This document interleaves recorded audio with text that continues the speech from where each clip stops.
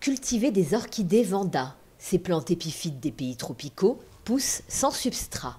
Elles se développent difficilement hors de leur milieu naturel, sauf sous serre. Pour Colette Barthélémy, les vandas exigent un entretien quotidien.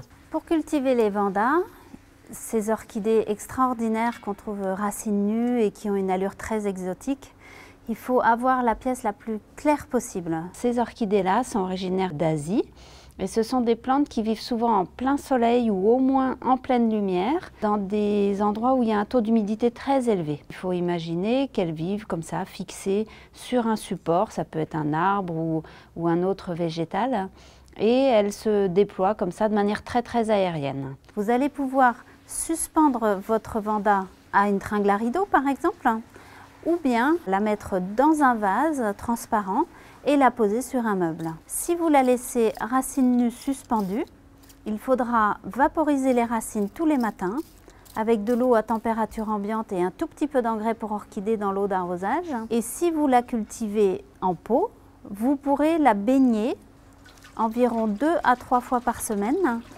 en laissant le bain bien hydrater le système racinaire pendant un quart d'heure ou 20 minutes à chaque fois. À réserver aux pièces plutôt chaudes. Lorsqu'elles se placent dans des conditions chaudes, claires et humides, elles fleurissent deux, trois, quatre fois dans l'année. Ce sont des orchidées monopodiales, donc elles poussent selon un axe vertical, sous l'influence de variations de température dans la pièce. La plante va générer une tige florale qui va apparaître entre les feuilles.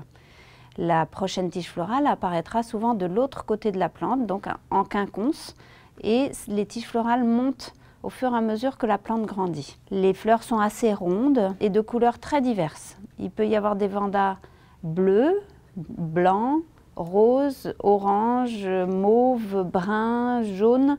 Donc là, il n'y a pas tellement de limite en termes de diversité de couleurs et il peut y avoir des tailles de fleurs tout à fait différentes. Lorsque les tiges florales sont fanées, vous écartez tout doucement les feuilles au creux desquelles la tige s'attache. Avec un sécateur désinfecté, vous allez simplement couper la tige. Ça ne refleurit pas sur la même tige. Parfois, vous remarquerez qu'au fil du temps, les racines les plus anciennes peuvent sécher ou se dégrader. Dans ce cas-là, n'hésitez pas à les couper de manière à garder un joli système racinaire. Cependant, si vous avez peu de racines sur votre plante parce que vous avez du mal à assurer l'humidité, il vaut mieux garder les racines anciennes que pas de racines du tout. Il existe une grande variété d'orchidées épiphytes qui se cultivent en intérieur.